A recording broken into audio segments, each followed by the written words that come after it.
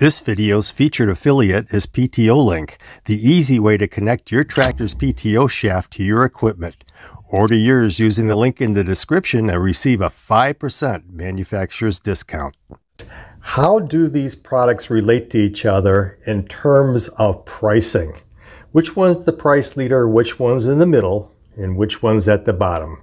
Mike, what say you? If I had to rank them, I would say Branson is the most economical. TYM would be the next up, and Kioti would uh, be the the upper on the price.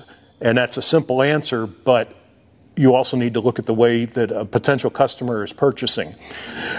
The Kioti uh, might be a dollar or two more than the TYM or the Branson, but Kioti oftentimes has really, really tempting finance offers. Recently, we had uh, 1.99 on a Kioti CK 2610.